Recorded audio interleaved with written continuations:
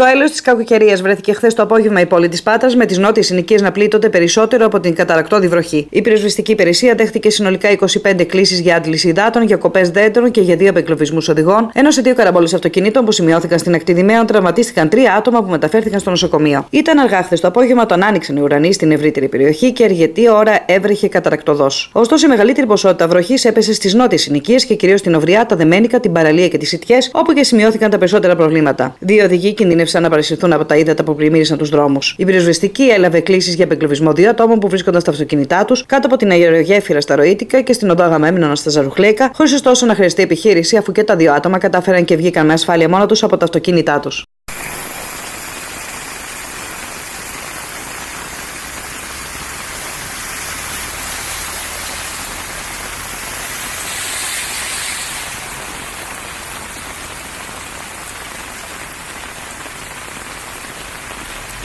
Αν μας δώσετε ένα λεπτό από το χρόνο σας, θα σας δώσουμε τρία χρόνια από το δικό μας. Γιατί στο Δούβρι δεν αγοράζεις, επενδύεις.